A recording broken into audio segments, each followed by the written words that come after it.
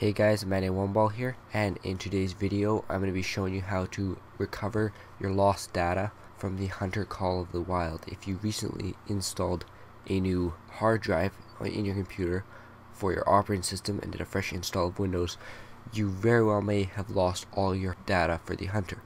So I'll show you how to get that back. So what you're going to do is you're going to go down to File Explorer, you're going to go to Documents, you're going to go to their studios, and there'll be two files in here.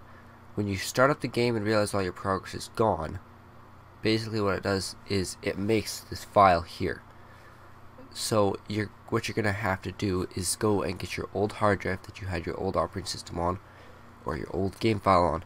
For instance, mine is games, and you're going to go into there, and you're going to click on the studios, and you're going to copy these two folders in here. You're going to want to go back to documents, and you're going to want to paste it inside here. And you can delete these other two files here as long as there's nothing on them. Which chances are if you're watching this video is because they have nothing on them.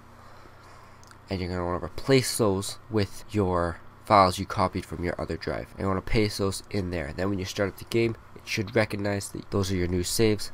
Up everything will update and everything will spawn back in. And that's all you have to do. It's that simple. Anyway guys, if you did find this video useful, make sure you drop a like and you want to see more videos like this, make sure you subscribe. If you have any questions, let me know in the comment section down below and I'll see you in the next one. Bye.